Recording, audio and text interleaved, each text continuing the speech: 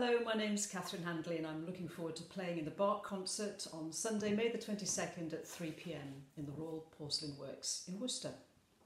I'll be playing second flute in Brandenburg number four with my friend and colleague Laura Jellicoe on first. Now interestingly, Bach wrote in the manuscript for this concerto for two echo flutes, which is a bit of a mystery as there's no record of such an instrument existing. Perhaps he was referring to how the flutes play in the beautiful second movement with loud phrases repeated quietly, just like an echo.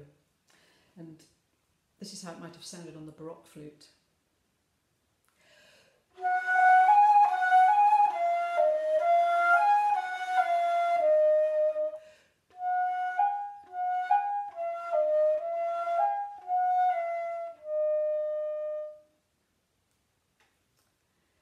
So Bach really wouldn't have recognised our modern instruments, and I just wonder what he would have written for this instrument if he'd had it.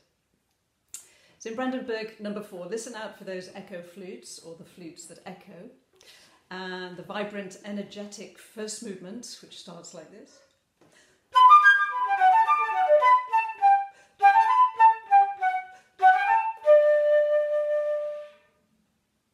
And there's the most exuberant violin solo in the final presto.